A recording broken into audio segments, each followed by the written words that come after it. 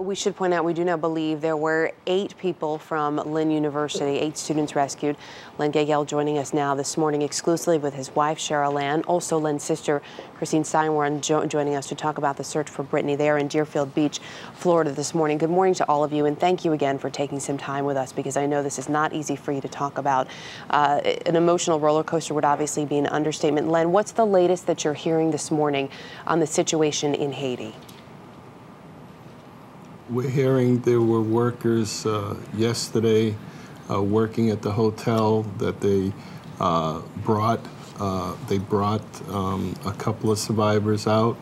Uh, we know exactly where our daughter is, thanks to her roommate Lindsay. She is in the back right-hand corner of the hotel on the third floor, room number 300. And, I'm, I'm asking, I'm, I'm begging President Obama, please, you inspired a nation. You inspired these young college students to volunteer and help the poor. And there's nothing more, more dignified than helping the poor. And, and these young girls that are trapped in that hotel and those two professors need to be found. And we need Americans we need the, the paratroopers. We need people there. If we could do it, we'd go, but we can't go. And so, so we, we need, we need you, President Obama, to get people to the Hotel Montana and get our daughter, all of our daughters home. Len, I know you're Please. also you're reaching out to the president, uh, not just as the president of the United States, but as a father, as, you, as you've said. Have you heard anything from the president uh, or from the White House, from anyone in Washington at this point? No, I haven't. No, I haven't. Uh, uh, we just we just really, really are in so much pain because we're helpless. We can't do anything. If we could do something, if we could fly down there, I own a construction company. I'd bring my equipment, whatever I had to do.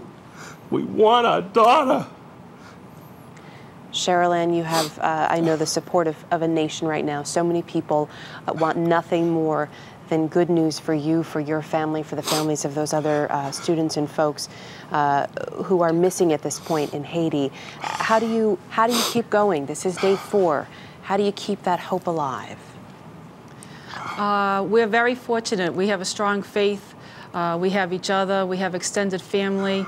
We have incredible friends. Um, our little town of Rutland, Mass. Uh, last night had, a, had a, held a vigil for Britt, and from what I've heard, about 1,100 people showed up. Um, we are not giving up. Uh, we're from New England. We're strong. We believed in the Boston Red Sox. No one thought they could win. we believe that Brittany will be coming home, and so we're strong people, and we, we just, we're going, and we're just going to keep going. And so uh, we'd like to thank everybody for all their prayers, for all their support. Yes. They have been wonderful, and that's really our strength. People mm-hmm. are just people that we met somewhere along the line in our lives are just sending us notes and emails, and we can't thank them enough because we are reading every single one of them and, and putting it in our pocket and carrying it with us. And um, so, thank you. And so, they'll all be invited to the uh, celebratory party that we have when uh, Britt comes home. And everybody looking forward to that moment. Tell us a little bit more. We're seeing these pictures of your of your beautiful daughter on screen. We know that uh, as you said, you know she wanted to go and help the poor. She was on a mission trip there. Cheryl Ann, tell us a little bit more about your daughter, Brittany. What are some of the things we should know about her? Well, anyone that knows her knows she's fabulous, and um, that kind of sums it up. She's just an amazing girl. She touches you. Uh, when you meet her, you're in the circle, she grabs you. Uh, she's honest, she's smart, she's nice, she's kind.